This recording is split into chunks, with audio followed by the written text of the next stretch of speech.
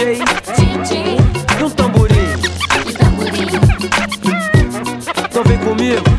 Meu samba é assim, tá bom pra mim? Dois toca-discos e um, um tamborim. A calça lá. Kids of all ages have come together and have been training hard. That is why this upcoming event is a great opportunity for them to demonstrate their commitment and to express themselves. All year long, kids from all over the Bay Area have been training for this batizado, which is also known as a capoeira ceremony. New students are introduced into the worldwide capoeira community and receive their first belt, which is also known as a corda.